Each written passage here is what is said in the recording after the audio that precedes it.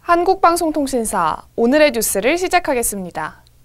천안시 농업기술센터는 관내 어린이집과 유치원생, 초등학생을 대상으로 하반기 어린이 농촌 체험 교실을 9월 6일부터 10월 28일까지 운영한다고 밝혔습니다. 어린이 농촌 체험 교실은 매년 천안의 다양한 농촌 체험 농장을 홍보하고 다양한 농업 자원에 대한 체험 기회를 제공해 정서 함양 및 농업 농촌의 가치를 전달하는 프로그램입니다.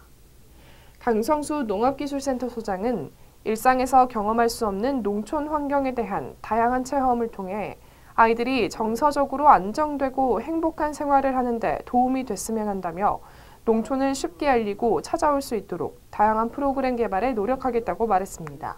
이상 한국방송통신사 뉴스였습니다.